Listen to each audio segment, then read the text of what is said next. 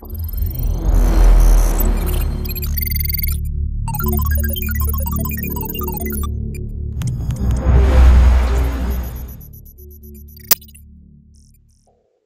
today we're just taking a look at Advance Steel and the use of the Graitec stairs and railings and we're actually going to take a look at railing end types and for this particular one we're going to focus upon a swan neck. So first of all obviously you need to have the dialog open, have your rail created. You come under handrails, you would then come into here, you would click ending type as a sub tab and then you'll see here the uh, tree structure in here. I'm going to remain at the top branch of that and just focus upon the top rail. Uh, so I'm going to be altering this element of the macro here. Now first thing to do is obviously come in and change the drop down and pick the swan neck type. And by doing that you'll find that that will activate and elements will appear in the railing. Um, they, they might appear sort of set out from there. They might appear at the, the start point here. It depends on if you've used it prior to actually coming into the macro. Um, you'll notice again that obviously there's no parameters or options available in this dialog pane. You need to come in and change the tab here to ending. And now you're, again, you'll see a different dialog present on the right hand side. You have the, the tree structure here, and obviously still we're going to remain in the top level here of the, of the tree. So remain at the top rail. We're not going to worry about the start and end details just at the moment. Um, and what we have here is two further side tabs, uh, one for properties and one for actually the sidebar. So let's just remain focused on the property tab on the front here. And initially you can see some lengths. You've got a little diagram here showing you what's going on so we can start adjusting some of these. And the, the best way to see what happened is actually just to adjust these. And here I'm going to put this back to zero and I will see this, this will actually element pull this back up towards this original start line of the railing. So obviously that's pulled that back onto this line here and it will use the system line as its reference again and the system line is actually in the center of the profile body. Uh, the next element in here you'll see is obviously the horizontal leg length. So this actually is actually 200 mil. So this is actually the length from the system line to this system line here. Now what I'm going to do is I'm just going to I'm just going to take that down to 100 millimeters and you'll just see that that's going to pull that back and pull the sidebar back along with it. So it's going to go back towards that direction. And the next element in here is, is, is actually the, the height. Now at the moment uh, it's set to 200, but uh, maybe I want 150. So we just come in here and we adjust that. So I'm just going to adjust that. And with that, you'll see it's going to actually pull up that horizontal element and the sidebar return. It's actually going to shorten that reference to the top handrail. So I'm now going to come back and just put my dialog back in here and I want my 100 mil extension. So to get that back down, so I'm going to put the 100 mil extension in and it will actually now drop that rail back down to the level that I required based upon this extension value in here and obviously the height that I'd set in here. So using a combination of these, you can obviously derive the form that is required for the swan neck. Now, I did say that we'd focus on the top rail and not worry about the start and the end, but we've obviously looked at the start and, and actually we've been looking at the end as well because both bits are being done in tandem. And one of the things you will notice is obviously at the top of the rail, the macro is intelligent enough to know to project this upwards rather than downwards as it did at the lower end of the rail. This occurs when there is a sloped rail. So moving into there, just, just keeping it still at the top level of the, of the branch structure within the tree.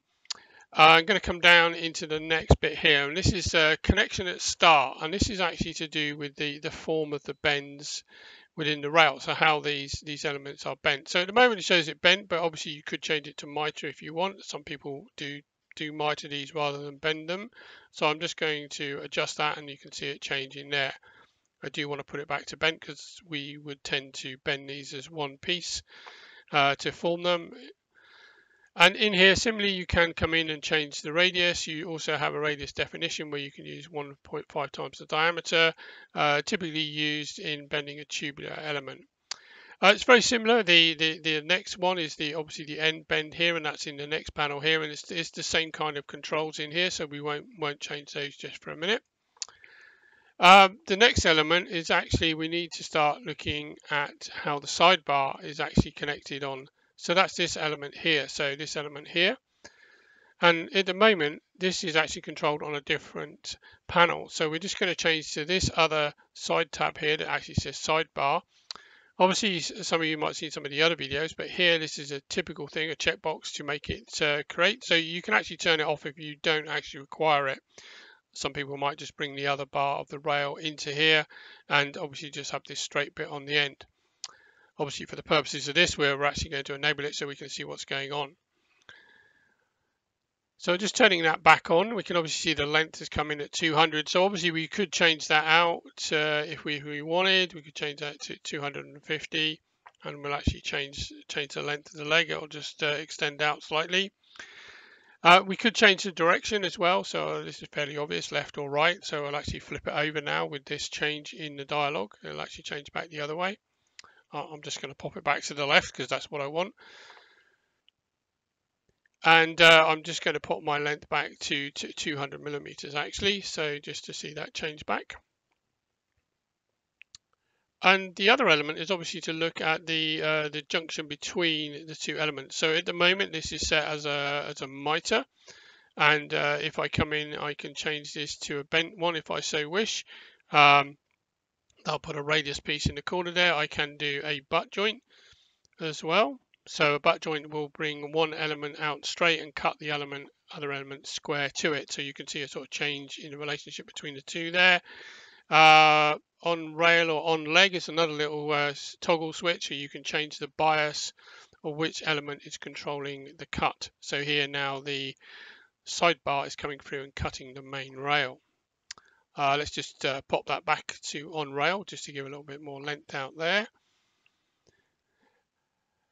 Now, the other thing you'll see is the very last bit is obviously all this at the moment is made out of uh, separate separate pieces. Um, obviously, um, you would have to weld all this together.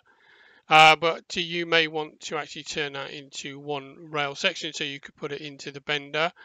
Uh, this will actually turn the whole rail into a poly rail, so that's the whole rail from start to finish. Uh, there are, other options available within the uh, dialog to actually split rail, so we can actually split within the railing panel itself, so uh, that would be subject to another video. But now we can see that, that that is one poly rail formed all the way up for the two railings. And obviously we've gone up to the, the top here. So, you know, for example, if you wanted to get to the top, you could come to the end here and now we're in there. And say we wanted to go in the opposite direction with the sidebar, we can actually change that. So, so normally a, good rule of thumb is if you're trying to put an ending type on and it's going to be sort of common to both ends, but maybe one goes left, one goes right, or there's a slight variation in, in the height or the setting out properties, uh, you can actually just set it at the top level by using the top branch level of the tree structure first of all.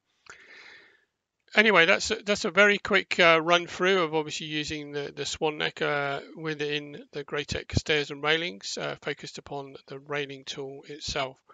Thank you.